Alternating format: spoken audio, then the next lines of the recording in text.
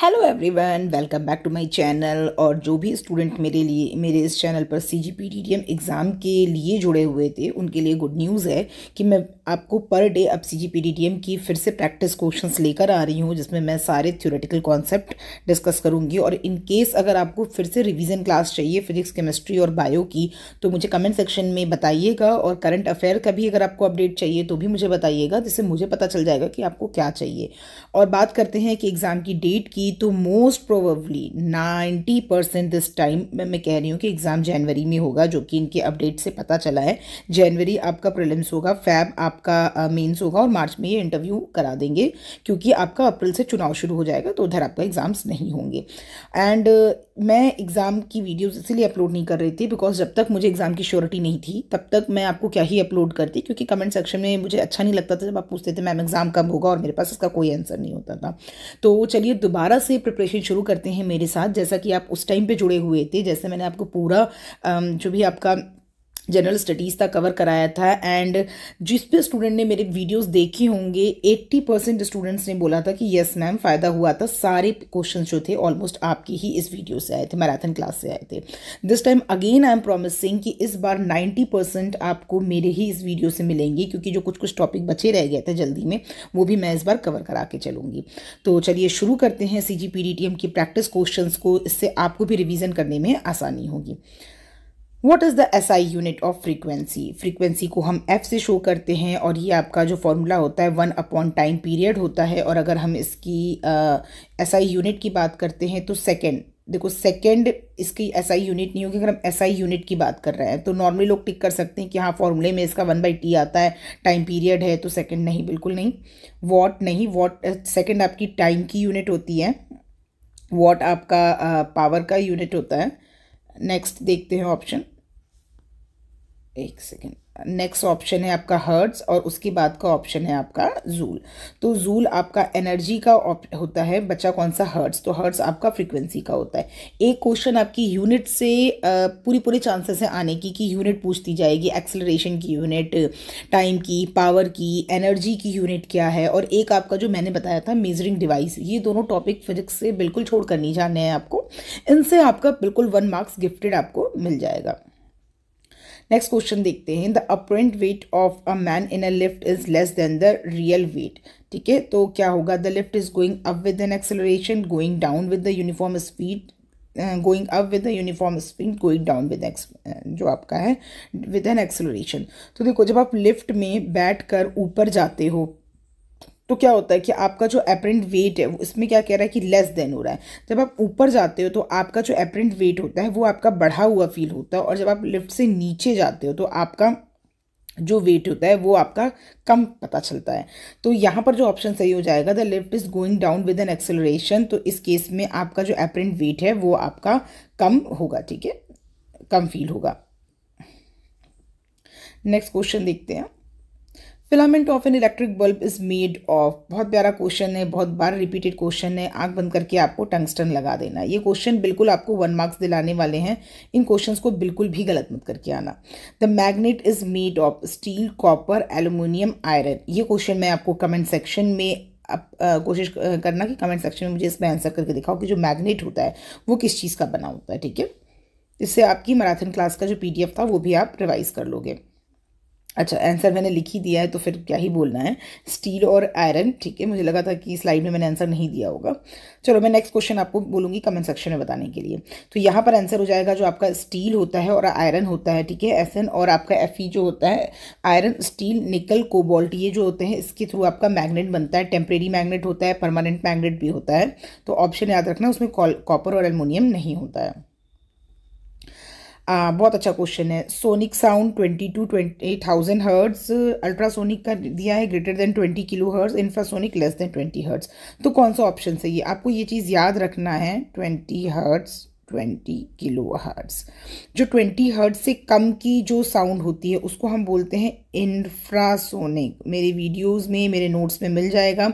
जिन्होंने भी मेरे नोट्स नहीं परचेज़ किए हैं, उनके पास मौका है। उस व्हाट्सअप नंबर पे पिंग करिए, आपको मेरे नोट्स मिल जाएँगे। ट्वेंटी से ट्वेंटी हर्ट्स के बीच में जो होता है, उसको हम बोलते हैं सोनिक साउंड और जो अदर देन ट्वेंटी मतलब more than twenty kilo hertz जो होता है, वो होता है आपका अल्ट्रासोनिक ठीक है? तो यहाँ पर आपके तीनों ही ऑप्शन मैच कर रहे हैं। बोल रहा है लेस देन ट्वेंटी हर्ट्स में है आपका इंफ्रासोनिक बिल्कुल सही बात है। ग्रेटर देन में बोल रहा है अल्ट्रासोनिक बिल्कुल सही बात है। और बीच में twenty to twenty thousand hertz यानी twenty kilo hertz is your sonic तो one two three all the option are correct which of the following statement are correct about heat ठीक है हीट के लिए अगर हम देख रहे हैं कि the it causes the sensation of hotness and coldness ठीक है?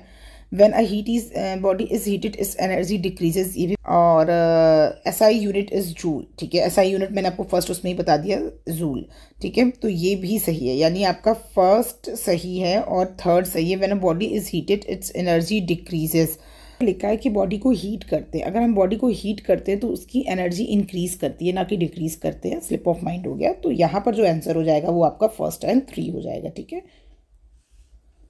नेक्स्ट देखते हैं।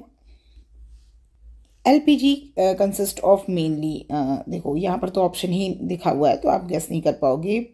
मेथेन एथेन हेक्सेन मेथेन जो होता है वो एल पी जी में नहीं पाया जाता। इंपॉर्टेंट है ये चीज़ ध्यान रखना। जो सबसे इंपॉर्टेंट uh, जो कंपोनेंट होते हैं वो आपके ब्यूटेन और प्रोपेन है और आपके प्रोपलिन होते हैं। तो एल पी जी में बेसिकली ब्यूटेन ब्यूटेन सबसे इंपॉर्टेंट है ब्यूटेन और प्रोपेन पाए जाते हैं। तो ऑप्शन डी आपका सही हो जाएगा। Which of the following is not an isotope of hydrogen tritium, deuterium, protium और यूट्रियम तो अगर हम इसकी बात करते हैं, अगर आपके हाइड्रोजन के आइसोटोप्स की बात करते हैं तो one H one one H two, one H three ये आपके आइसोटोप्स होते हैं। ये आपका होता है प्रोटियम। ये आपका होता है ड्यूटीरियम। ठीक है? और ये आपका होता है tritium.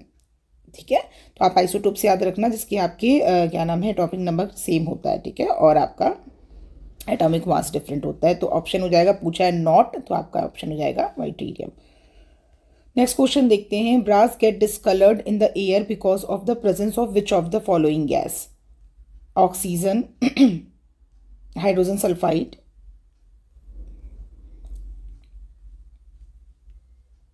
carbon dioxide and the next option is nitrogen तो अगर ब्रास जो होता है, वो आपका डिसकलर्ड होता है because of the presence of hydrogen sulphide case ठीक है? हाइड्रोजन सल्फाइड की वजह से जो आपका ब्रास होता है, वो आपका डिस्कलर्ड हो जाता है। Option B will be the right one which of the following is a non metal that remains liquid at the room temperature important question है, कौन सा आपका नॉन मेटल है? तो उसमें आप बात करोगे bromine bromine is the only non metal जो कि आपका रूम टेम्परेचर पर लिक्विड होता है। तो option B will be the right one next question बात करते हैं। Permanent hardness of water can be removed by chlorine washing soda potassium permanganate और फोर्थ ऑप्शन है आपका ब्लीचिंग पाउडर। तो यहाँ पर हो जाएगा वॉशिंग सोडा अगर परमानेंट हार्डनेस को क्लोरीन भी वैसे यूज़ होता है पानी को क्या नाम है क्लीन करने के लिए। जो आपका आरओ वगैरह में होता है, पानी को क्लीन करने के लिए हम क्लोरीन यूज़ करते हैं। जो आप ये जो आपके स्विमिंग पूल का पानी होता है, उसमें भी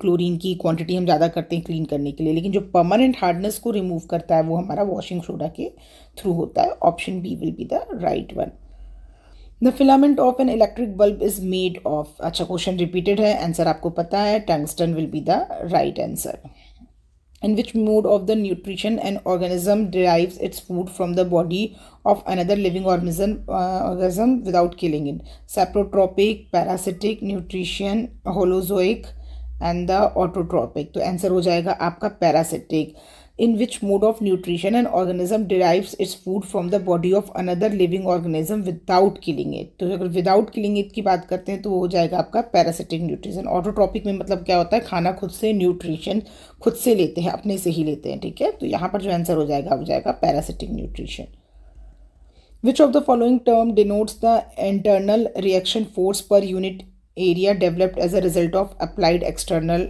force ठीक है? Stress friction moment of inertia tension तो आपका कह रहा है in denotes the internal reaction force per unit area ठीक है? तो ये आपका होता है स्ट्रेस की value force per unit area आपको मैंने बताया था स्ट्रेस के बारे में स्ट्रेन के बारे में change in length divided by original length आपको स्ट्रेन होता है और उसके बाद आप यंग्स मॉडुलस पढ़े थे। तो यहाँ पर जो स्ट्रेस है, उसको हम फोर्स पर यूनिट एरिया से डिफाइन करेंगे और वो आपका आंसर हो जाएगा option A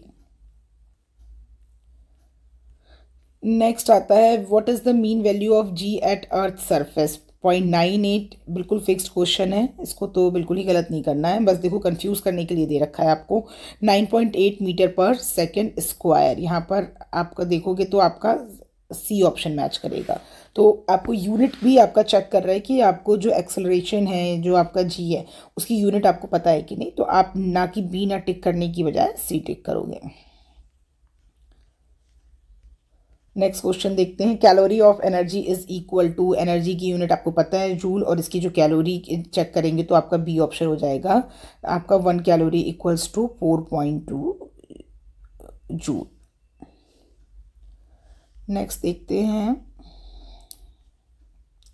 Every kilogram of sea water has approximately how much of dissolve salt one gram point three gram three point five gram thirty five gram तो option हो जाएगा thirty five gram D option gypsum is added to the cement so that क्या ज़रूरत होती है जो आपका cement होता है, जो आपको घर बनाने में यूज़ होता है, उसमें हम जिप्सम को क्यों ऐड करते हैं? तो मेन काम होता है स्लो डाउन करने के लिए जो आपका रिएक्शन होती है। Setting of the cement can be fasted setting of the cement can be slowed cement strength can बढ़ाने के लिए cement strength can be control तो आंसर हो जाएगा आपका बी क्योंकि जो आपका सेटिंग होता है सीमेंट का, वो थोड़ा स्लो हो। सीमेंट में अगर जैसे ही पानी मिलाते हैं, वो बहुत जल्दी जम जाता है। तो उतने में आप प्लास्टर कर ही नहीं पाओगे। तो इसलिए हम थोड़ा सा जिप्सम ऐड करते हैं।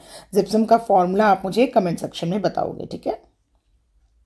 Name the organs that make up the excretory system in humans two kidney ये तो आपका एक्सक्रेटरी सिस्टम में आता है। टू यूरेट्रा ये भी है। Bladder and urethra and all of the thank god all of the above है। तो ऑप्शन हो जाएगा D all of the above जो आपका एक्सक्रेटरी सिस्टम होता है उसमें आपकी तीनों चीज़ें पाई जाती हैं। Two kidneys two ureter and bladder and urethra ठीक है? C G B T M का प्रैक्टिस सेट हो गया। आई होप आपको ये वीडियो पसंद आई होगी और आपको बेसिकली uh, आपको uh, पुरानी चीज़ें सारी रिवाइज हुई होंगी। मेरे पास दो ऑप्शन है। या तो मैं आपको थ्योरी के फॉर्म में सारा रिविज़न कराऊँ या क्वेश्चन के थ्रू रिविज़न कराऊँ। तो मुझे कमेंट सेक्शन में सेक्शन में अपडेट ज़रूर करना कि आपको किस तरीके से रिविज़न चाहिए। Thank you so much